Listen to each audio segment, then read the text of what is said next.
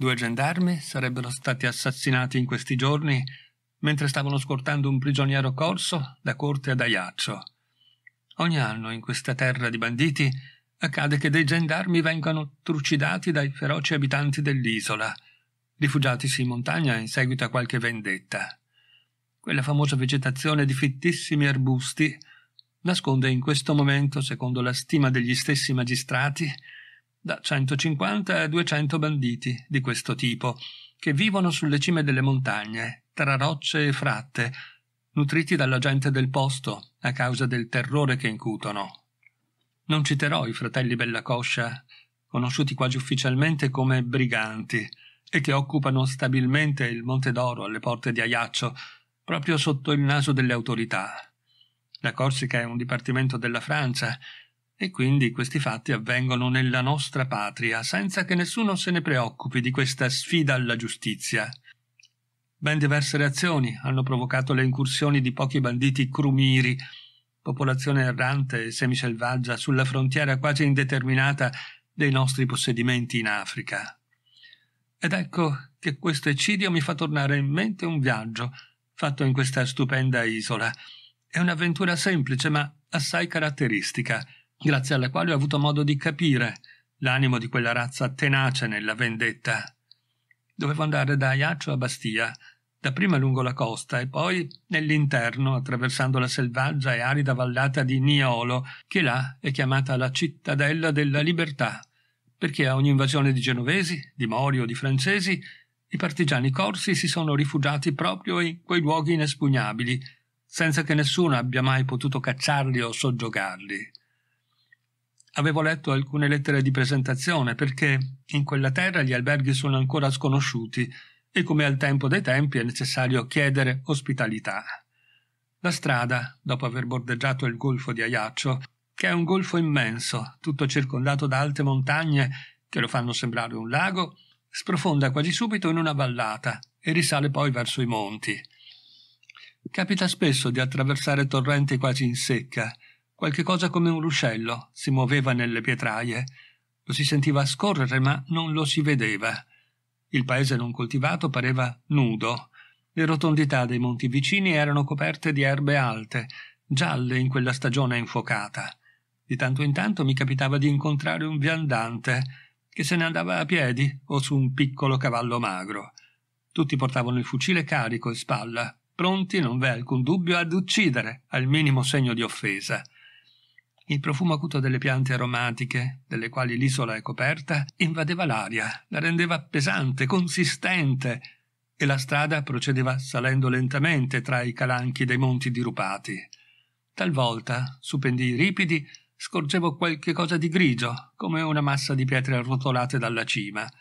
Era un villaggio, un piccolo paese fatto di granito, incrostato là, arroccato come un nido di uccello e quasi invisibile nell'immensità della montagna. In lontananza foreste di enormi castagni parevano macchie, talmente gigantesche sono quelle grandi groppe di terra, e la macchia fatta di querce verdi, di ginepre, di corbezzoli, di lentischi, di alaterni, di eriche, di laurotini, di mirti e di bossi intrecciati come da capelli, da clemati di rampicanti, felci mostruose, caprifogli, ornelli, rosmarini, spigo, rovi, formava sul dorso dei pendii, ai quali mi avvicinavo, un vello inestricabile.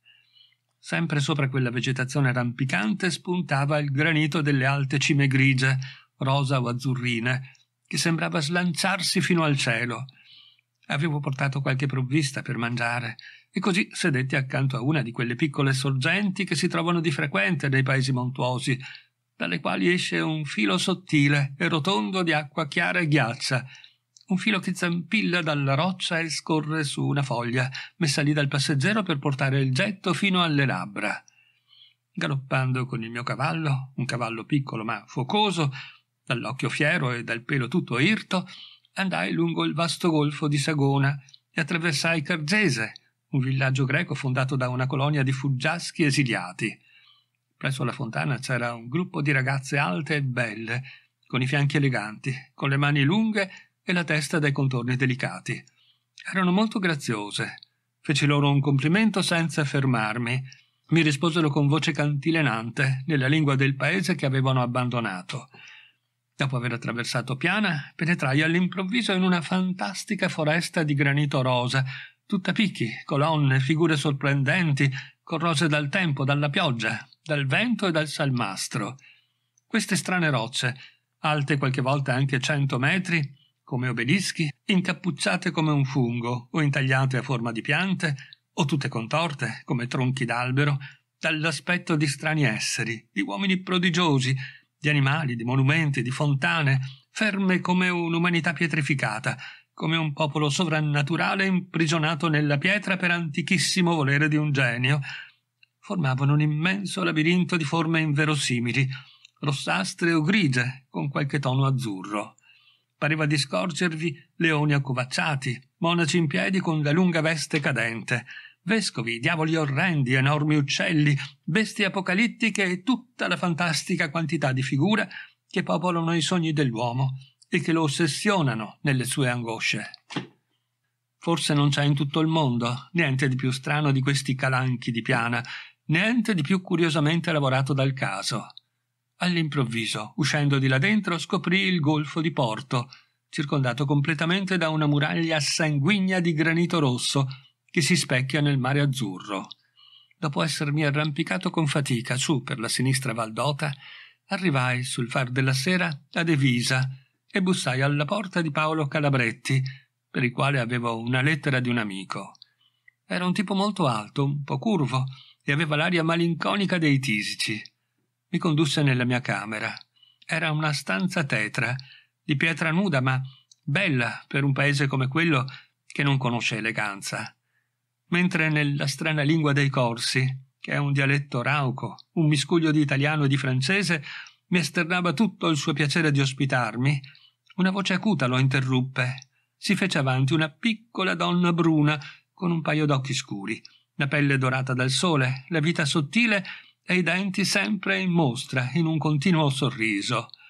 Con slancio mi prese la mano e la scosse. Buongiorno, signore, come sta?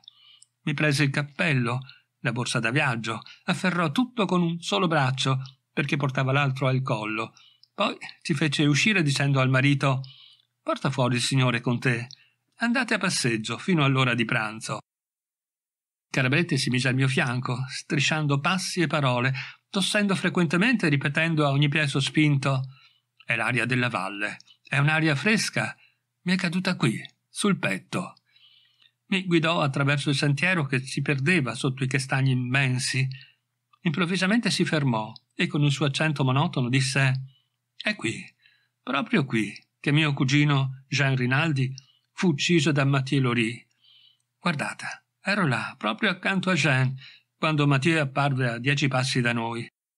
Jean, gridò, non andare dal Bertas, non andarci, Jean, se no ti ammazzo, ti ho avvertito.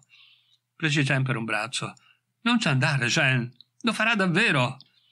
Era per una ragazza, Paolina Sinacupi, che tutti e due corteggiavano.